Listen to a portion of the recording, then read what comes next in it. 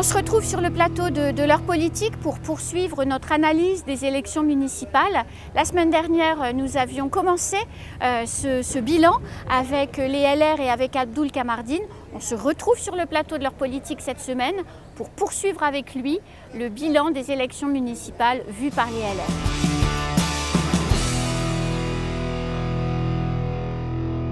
Passons à une autre commune, déception également pour les LR, Chiconi. Chiconi, oui. Donc un maire sortant euh, premier adjoint, enfin, en reprenons l'histoire de Chiconi.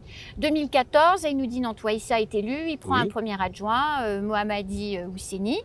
Euh, ils font un travail ensemble, en équipe, pendant un certain nombre d'années. Pour des raisons professionnelles, Zainoudine Antouaïssa est amené à prendre du recul. Exactement. Il passe la main à Mohamadi, qui devient donc le, maire, le maire de, de la commune. Oui le mandat se déroule, arrive le temps des investitures et les LR investissent Madame Zalia Albert, qui était adjointe à la sécurité dans, la commune, sur la liste, hein, euh, contre Mohamadi, qui lui-même avait un peu comme dans le cas de Danchia tout à l'heure, évoqué l'envie d'être candidat.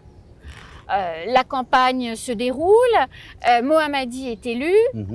une triangulaire au, second tour avec la candidate soutenue par la République en marche. Mohamadi est élu. Mhm. C'est une déception. Une déception pour les LR. Oui, pour les LR, pas pour Mohamadi. pas pour Mohamadi parce que lui, il est élu. C'est ça. Et je, préfère ne pas en rajouter un peu plus sur ce sujet. Ok, changeons de commune. changeons de commune. on remonte un peu plus, euh, on remonte un peu plus au nord. La pas de déception, Abdoul, puisqu'en plus tu, tu, en parlais tout à l'heure, on arrive à quoi À quoi, oui. Où le maire, euh, le maire qui est élu est un maire MDM, MDM Anafi, Anafi et qui fait une alliance au second tour avec les LR. Avec les LR, la liste emmenée par Daniel, Abdou, voilà. Mhm. Et donc on se rassemble au, au, second tour et on fait battre le maire sortant qui par ailleurs n'avait pas démérité pendant son mandat. Euh, si on regarde un peu la politique euh, municipale à quoi ce type d'alliance entre le MDM, les LR, le MDM et, et la gauche locale, c'est assez régulier et en règle générale, ça tient pas hyper longtemps. Or, il y a une commune à gérer avec euh, une situation compliquée à quoi, mhm. euh, notamment par rapport aux risques naturels. Alors, est-ce que cette fois, c'est le bon duo Anafi euh, Abdou On va aller au bout du mandat dans une entente parfaite? C'est ce, qu'on espère. On a l'habitude, bien évidemment, qu'à Mayotte, toutes ces fameuses alliances qu'on dit, qu'on qualifie de Macédoine, ne vont pas jusqu'au bout et euh, arrivé au, au bout du mandat, enfin, en mi-mandat, on commence à se tirer dans les pattes, tout ça, etc. Alors, mais là, je crois euh, que le cas de Aqua est tout différent. Parce que là, pour la première fois, on a deux grands partis qui se retrouvent et qui forment une majorité. Donc, ce sont les deux grands partis de Mayotte, donc en mesure même de fournir l'exemple de ce qu'est la bonne gestion la gouvernance euh, territoriale. Je ne peux donc que leur souhaiter bon vent pour réussir et montrer que euh, l'unité, la réunion du MDM et, du, et, des LR peut faire changer les choses. Et tu crois que ça survivra, cette belle alliance qui fonctionne hein? Je, je Au cantonal, aux investitures des cantonales? pour, les, pour les cantonales, euh, vous savez, il y a un principe qui est très simple acquis dans chaque parti. Euh, chacun essaye tout au moins, au moins pour le premier tour, de se mesurer. Je crois savoir, par rapport aux éléments d'information à, ma possession, euh, la majorité municipale ne seront pas, euh, ne, feront pas alliance immédiatement pour euh, Il y aura les deux cantonales. Candidats, donc? Il y aura des candidatures. Le LR aura son candidat, le MDM aussi. Et puis bon, voilà, on verra le reste pour le second tour. D'accord. Ok. Mais, mais, en tout cas, les choses se passent bien. Il n'y a pas de vague. Vous savez, euh, dans des équipes euh, qui sont disparates, bien évidemment, euh, même au sein, sein d'une même famille, on, a toujours des petits points qu'il faut arrondir, des choses qui ne vont pas, qu'il faut discuter. Moi, moi, je pense que cette équipe LR et MDM de Aqua, ils doivent beaucoup plus privilégier le dialogue, la communication, pour justement montrer à la population que leur union n'est pas une union de façade, mais une union pour travailler pour Aqua. Parce que c'est ça le plus important dans tout ça.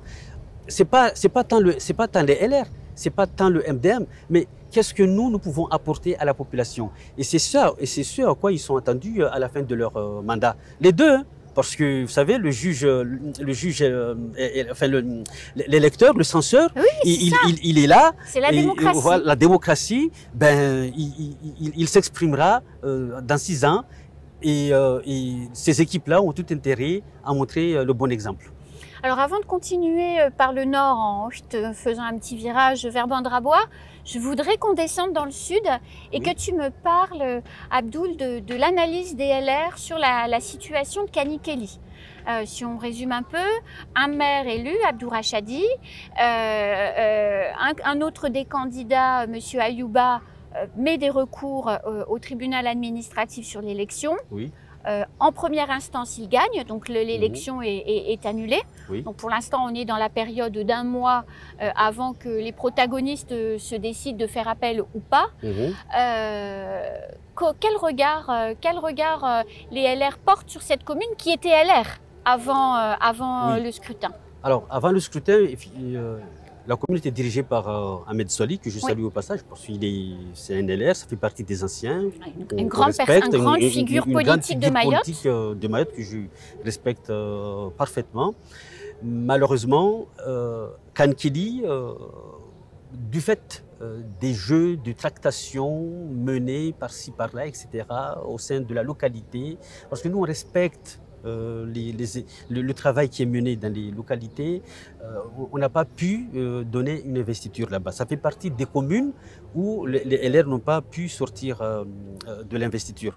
Et, donc là, on est à l'opposé du principe selon lequel, que, tu as dit tout à l'heure, que Sarkozy aurait dit que on accorde la, prime au sortant. Oui, bien La logique aurait voulu que l'on donne l'investiture à Ahmed Soli mais les circonstances ont fait qu'on n'a pas pu euh, se prononcer. Pourquoi on n'a pas pu se prononcer? Et là encore, on revient sur ce qu'on a évoqué tout à l'heure au début de l'émission, les divisions. Vous savez, on a un parti, les LR, vous avez des têtes qui comptent, des LR dans cette commune, qui font tous bande à part. Comment pouvez-vous arbitrer un tel match? C'est compliqué. C'est très compliqué. Si ce n'est pour encore créer la confusion dans la confusion. Donc, on a joué la facilité, on n'a on on on pas donné l'investiture? Tu me diras, oui, mais c'est pas, c'est pas engageant. Oui, c'est pas engageant, mais parfois, euh, pour le bien du parti, il faut savoir se taire. Euh, mais alors, donc, du coup, la personne, euh, je, reviens sur, sur, sur l'élection qui s'est déroulée. Oui. Monsieur Ayouba est LR quelque part, celui qui a gagné finalement en première instance au tribunal administratif. Donc on ne sait pas ce que va faire le maire sortant, ce qui va faire appel et ce qui va pas faire appel. Euh, S'il ne fait pas appel, l'élection sera annulée mhm. et euh, elle sera rejouée. Est-ce que les LR investiront Monsieur Ayouba? Alors, les LR investiront le candidat qui sera le mieux à même de mener euh, notre mouvance à la victoire et ça fera partie des éléments de discussion qui seront engagés dans les prochains jours. Ok.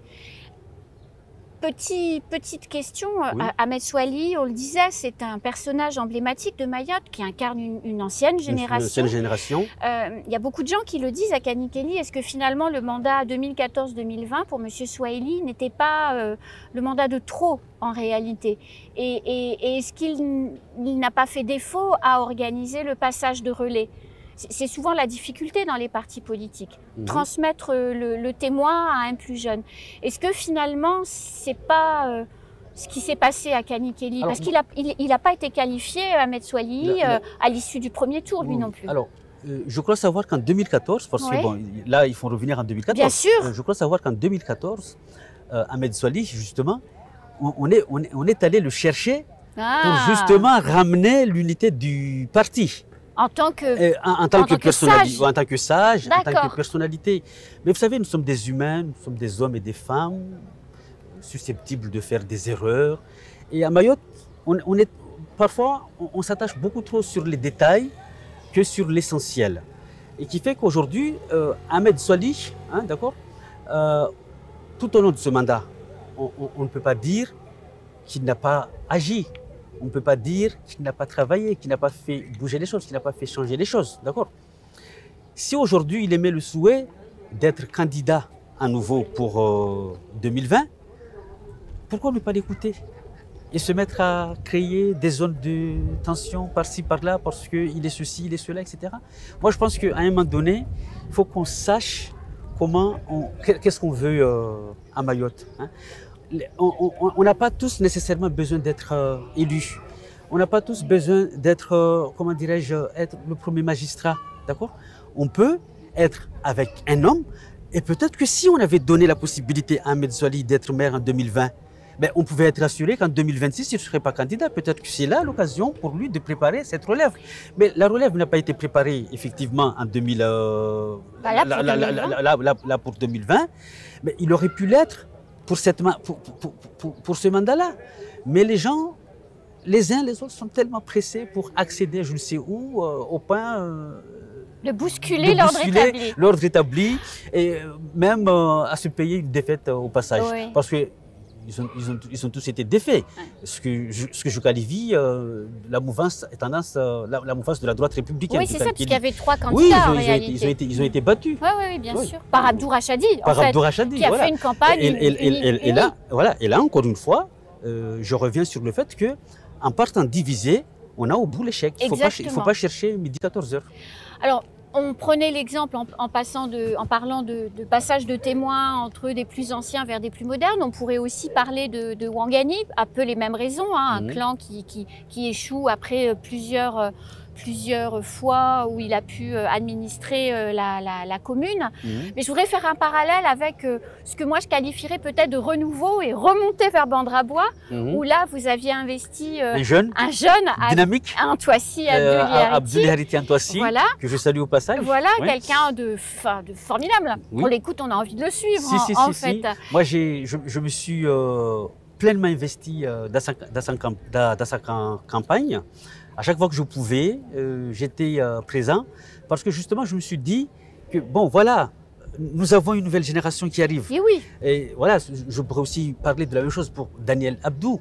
Hein, euh, Bien sûr, une, tu as nouvelle, raison. Voilà, une, nouvelle, génération, d'hommes et de femmes politiques, et Chatim Samouravili aussi à Absolument. Congo. Hein, cette nouvelle génération-là, moi je pense que il fallait, ils, ils avaient besoin d'être soutenus.